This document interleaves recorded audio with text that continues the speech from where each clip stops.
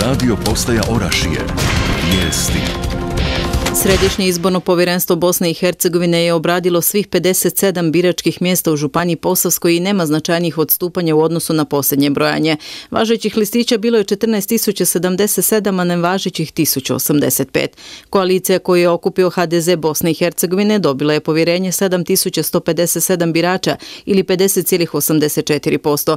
Na drugom mjestu je koalicija Hrvatsko zajedništvo za Posavinu sa 1806 glasova ili 12,83%, a na trećem mjestu po broju osvojenih glasova stranka Demokratske akcije koja ima 1520 glasova ili 10,80%. Slijede Posavska stranka sa 6,75, SDP 5,77, SBB Fahrudin Radončić 4,38 te pokret Demokratske akcije s 3,52 i DF sa 3,10% glasova koji bi kako sada stvari stoje imali svoje zastupnike u Skupštini Županije Posavske.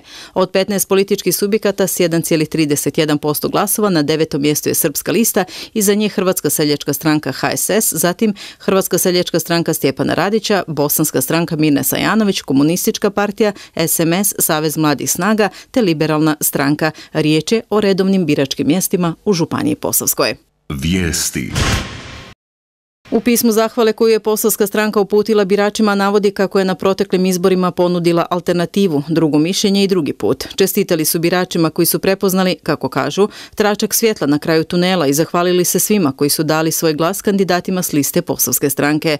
Vaš glas nije bačen, poručuju iz poslovske stranke, jer će kandidati poslovske stranke u zakonodavnom tijelu Županije Posavske biti glas razuma i korektiv, kako tvrde, promašenih ideja i politike koja u našoj županiji ima već dugački kontinuitet. Vijesti. Središnje izborno povjerenstvo Bosne i Hercegovine će sukladno izbornom zakonu BiH u narednim danima objavljivati preliminarne rezultate općih izbora održanih u Bosni i Hercegovini 7. listopada ove godine. Utvrđeni izborni rezultati će uslijediti tek kad se objedine rezultati sredovnih biračkih mjesta, biračkih mjesta za glasanje u odsutnosti, rezultati glasanja iz inozemstva putem mobilnog tima i rezultati glasanja na nepotvrđenim glasačkim listićima. Tek nakon što Središnje izborno povjerenstvo objavi utvrđene izborne rezultate, u roku od tri dana može se podnijeti zahtjev za ponovno brojanje i to isključivo pod uvjetima i na način propisan zakonom. Središnje izborno povjerenstvo Bosne i Hercegovine trenutačno objavljuje preliminarne rezultate i zbog toga je preuranjeno podnositi zahtjeve za ponovno brojanje. Vijesti. Mjesec rujan u Županiji Posavskoj s aspekta sigurnosti zadovoljavajući je, ocjena je Ministarstvo unutarnjih poslova Županije Posavske. Ovakav zaključak izveden je na osnovu analize oblasti kriminaliteta, javnog reda i mira i sigurnosti javnog prometa. Povećan je broj kaznenih dijela u oblasti kriminaliteta, s tim da nije bilo prijava organiziranog kriminala ni terorizma. Broj prekršaja iz oblasti javnog reda i mira je smanjen, a prijavljena su samo tri narušavanja javnog reda i mira i to sva tri u općini Orašje.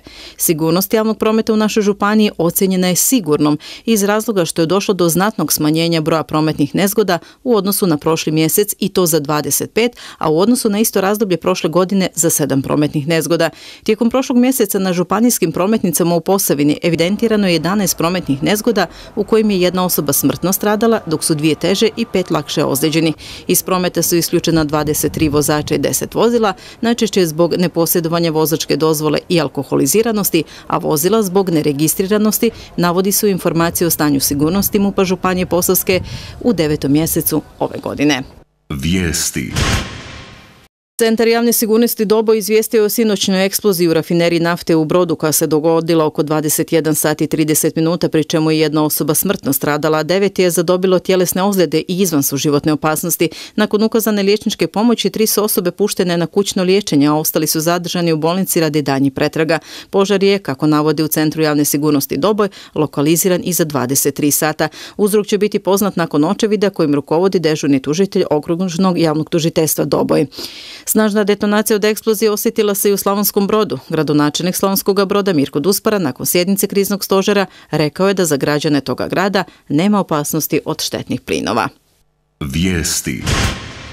Nakon vojnih nalozi za isplatu civilnih invalidnina i to tuđe njega i pomoć i invalidnina za civilne žrtve rata u Federaciji Bosne i Hercegovine za deveti mjesec ove godine upućeni su danas prema bankama. Federalno ministarstvo financija osiguralo je sredstva za ove kategorije u iznosu većem od 13 milijuna i 700 tisuća maraka.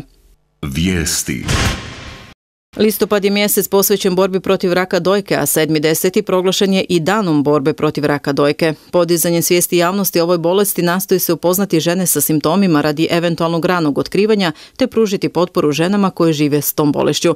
Udruge žena oboljelih od raka dojke Narcisa Županije Posavske Oraše već puno desetljeće djeluje i vodi aktivnosti na tom planu. Tako su za sutra najavili predavanje u Domaljevcu na temu značaj prevencije i ranog otkrivanja bolesti u borbi protiv raka dojke. Predavanje će održati doktorica Martina Đojić-Dominković, voditeljica službe za radiologiju Županijske bolnice Orašje, a održat će se u dvorani restoranu Jimora u Domaljevcu s početkom u 18 sati. Ovim predavanjem Narcisa će i obilježiti listopad, mjesec borbe protiv raka dojke.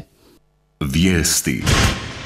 Prvu donaciju humanitarne pomoći prikupljene u Orašu u akciji Merhameta Međlisa Islamske zajednice Oraše i neformalne udruge građana iz Orašja jučer su predstavnici organizatora odvezli i isporučili u migrantski kamp u Veliku Kladušu. U ovoj pošici bilo 400 zimskih jakni, druga topla odjeća i obuća za žene, djecu i muškarce, topli prekrivači i hrana, a uručeni su i novčana donacija te prehrambeni artikli kuhinji koja priprema tople obrege za migrante. Uskoro će ističu organizatori akcije s preostalom donacijom ponovno put Velike Kladuše jer svaka pomoć u toplo odjeći i obući, ali i hrani u ovim trenucima je veoma dobro došla. Vijesti. Na pojedinim dionicama u općinama Oraše i Domaljevac djelatnici javnog poduzeća Ceste Federacije BiH danas izvode određene aktivnosti što dovodi do sporijeg odvijanja prometa.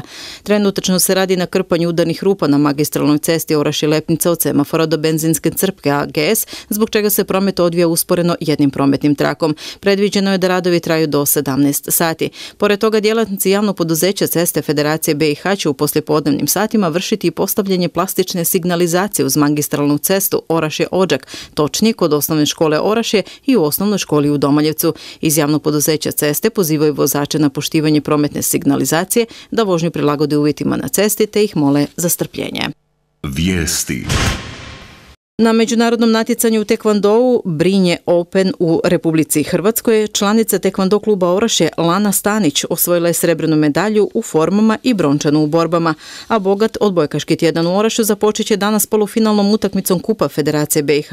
U novoj sportskoj dvorani u Orašu za plasman u finale borit će se odbojkaši Domaljevca i Kaknja. Očekuje se teška utakmica za Domaljevac u kojoj podrška navijača može biti od presudne važnosti. Susret će započeti u 19 sati.